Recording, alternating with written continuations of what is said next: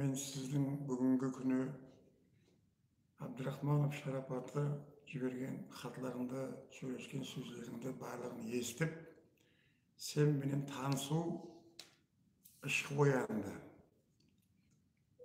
бір келсең қожеліге екеуміз бір таныссақ сенің қылып жатқан істеріңді бірге барып көрсек қате болса бір бірімізбенен көрісіп қатеден ортаға қойсақ менің қатем бойынша ермашев бойынша юсупова бойынша қожелінің базары бойынша қожеліде қылып жатқан істер бойынша қырыққа жақын қырықтан асты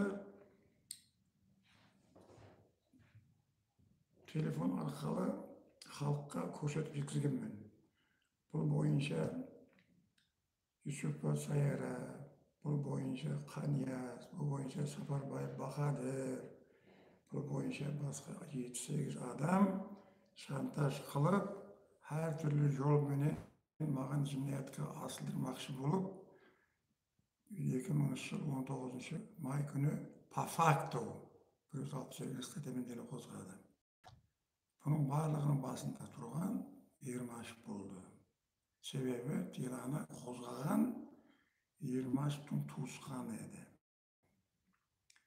сондықтан ақыбетінде жиырманшы август күні үш айлық срок біткенде жинаят ісінде аламаты жоқ деп сексен үшінші статьяның жинаят процедура кодексінің сексен үшінші маддасының екінші қысымыменен істі жауып тастаған мен хайран болдым бұлар неге қозғады неге до конца апармады деп тұрып ендігі мәселе бұнан кейін ермашевтың өзі екінші ноябрь екі мың жиырмасыншы жылы қарақалпақстан республикасы прокурорына көшелі районының хакімі бола тұра арыз жазды арзада хасанов әуе жүсіп ұлықбек сапар үсмет абдрахманов шарапатин һәм тамара ісімді шахслар жұмыс істетпей жатырыпты шантаж қылып жатырыпты барлық анализдерді қылып болды.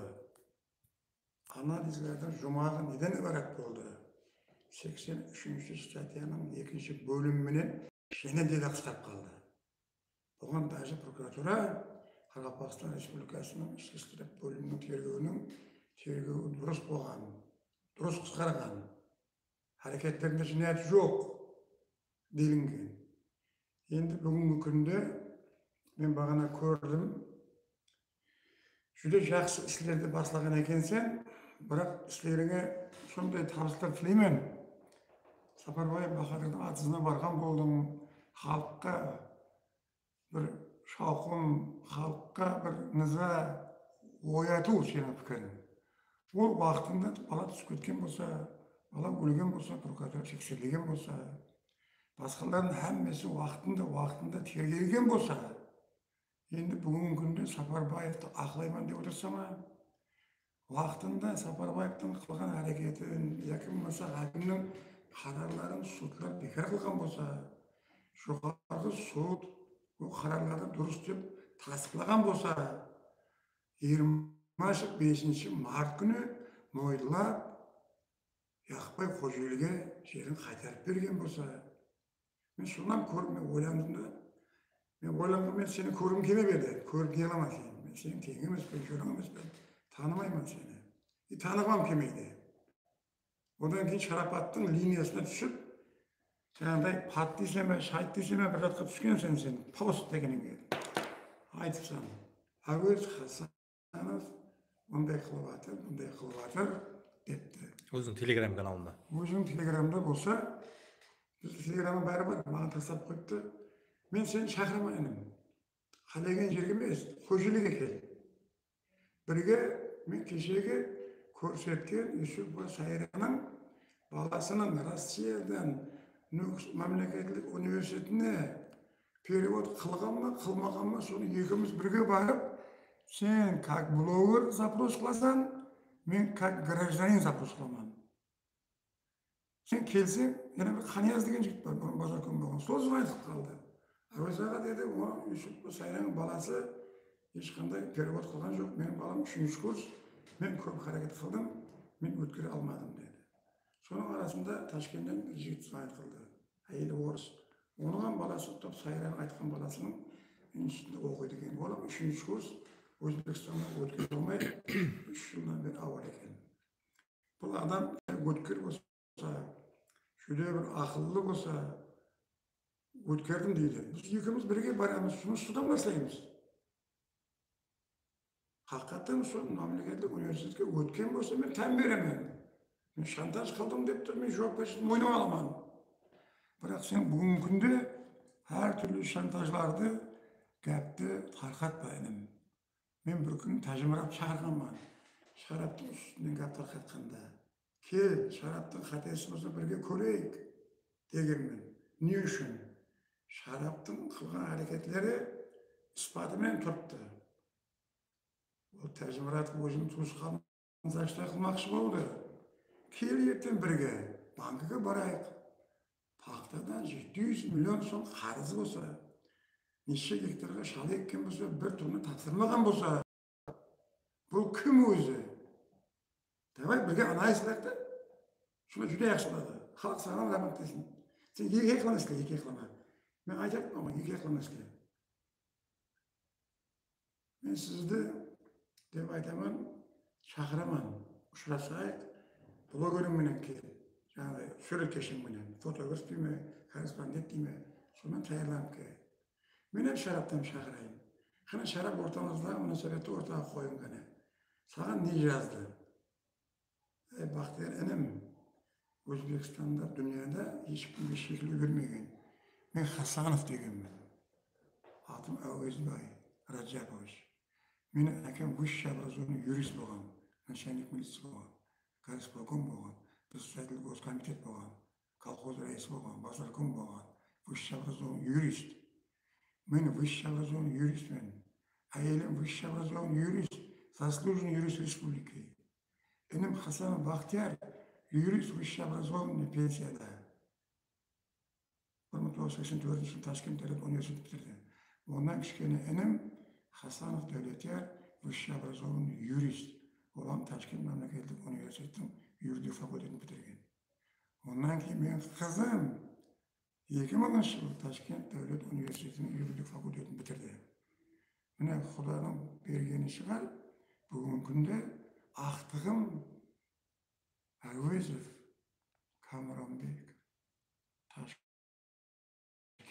юридик университетінің судебный прокурорский факультетінің студенті бұл біздерге беріп қойған құда тарапынан беріп қойған білім ақыл мен көп жерде айтамын мен байлығым, байлығым көп деп. Мен байлығым сауатым орыста бір кеп бар я за словами карман не лезу дейді мен жат іздеп отырмаймын сонда сөйлесемін сеніменен одан қалса біздерге дайырға шыққан жұмек орынбаев аскарович махмет орынбаев екеуі дүнияға белгілі болған профессорлар болған жұмек орынбаев бір мың тоғыз жүз отыз тоғызыншы мен туғандаймын ссср ауқанының білімдендіру министрінің бірінші орынбасары болған оның інісі нағыметтің балалары мінекей бақтияр бар қазір зампред верховщик болды қазір мидте ме бір жерде юрист біздің әулетіміз сауатлы әулетлер Yine bir dayımın balları, kızları. Вот Tanayıqlar. Men dayımın kızına tuğum ola barlığı. Bizler avlatlarımız savatlı bolgan. Men sağa son dayılıp berimen. Tarih dayılıp berimen. Muzeylerge aparaman. Көрсетемен. Ертең құда қаласа Мағамбет Орынбаевтың 9 апрель күні 100 жылдығын береміз. Келіс жүрген біздің ағайын туғандар көресің байларды көресің сауатлы халқымыз және бірге айтыпсың мафия депсің мафия деген ұйышқан грух шүлкемлестірілген грух оны тергеу тармағынан тастықлап соттың үкімі шықса адамға айып қойылады сен күннен бұрын мафия деме саған беріп жатқан ақылым екіншіден дайы менен жиеннің фарқына бар фархат алланың берген менің дайым емес жиенімнің баласы еш жерде ограничение берілмеген хасановтың әулеті Resprokura болмасын, МВД болмасын, я басқа жұмыста істемесін ограничение берілмеген. Әркім өзінің нәсібесі менен істейді. Міне көрдің ғой, мына әулеттарда юристтер бар. міне. Жүдек юристтер бар. Фархаттың кішкентай бар, Ұлықбек, олам юрист. Высшее образование, олам мектеп жерде істейді. Ал былайша қараса, ақылың болса жеткізесің ғой мұратыңа. Давай ертең кел бір жерге. Қалаған жер мен ақ барайын. Мен сол шараптың уақытын табайын да барайын. Университеттен бастайық та хақиқат шығарайық. Айтқан сайын жас баланы қинайжақ деп. Жас бала емес қой. Алдауға документ түзеп, әртүрлі жолға қылғаларыңды.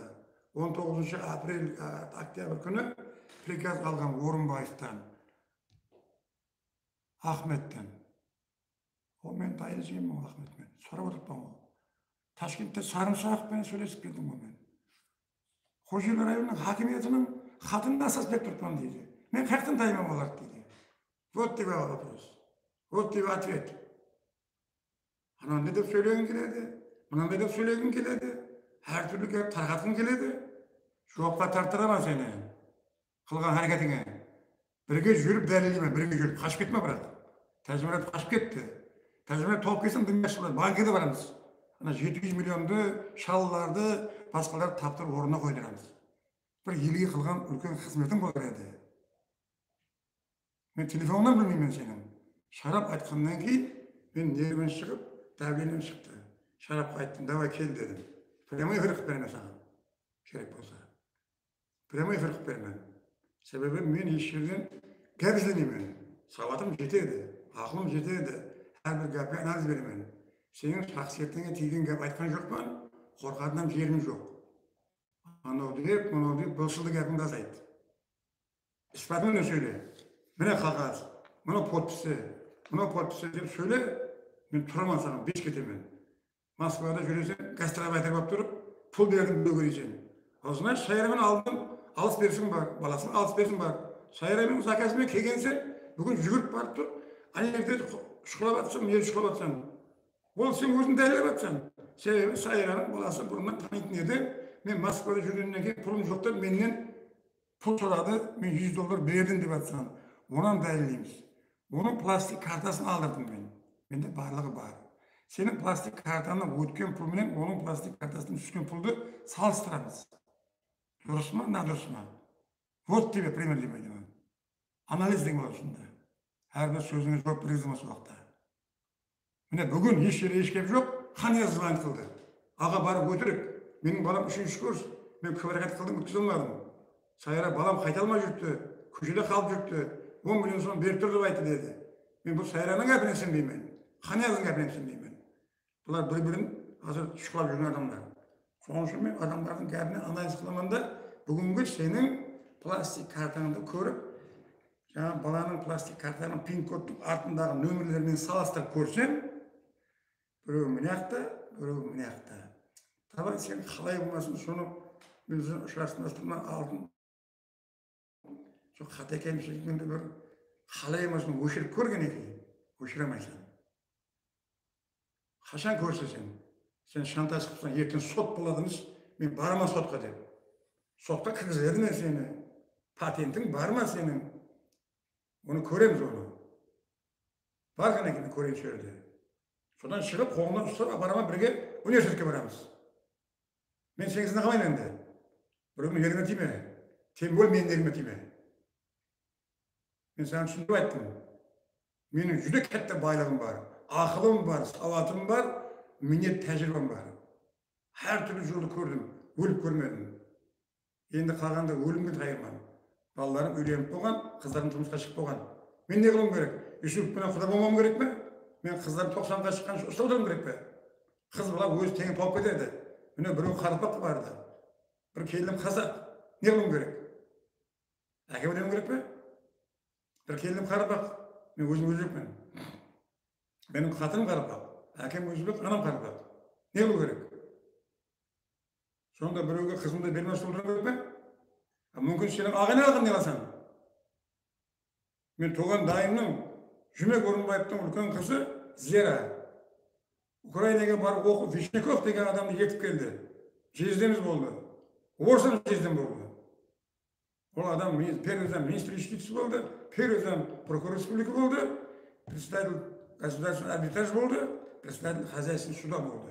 Вот менің ағайындарым. Соның үшін інім қашпастан, әртүрлі шантаж жолдарды істеместен, туырдан туыры кел, прямой эфирге отырамын саған мына жақтан шарапат шығарама мына сен түсіріп тұрсаң прямой боламыз сен ана үйіңе барып монтаж қылдыруыңа я басқа гәп қылдыруыңа мен жол қойдырмаймын рахмет інім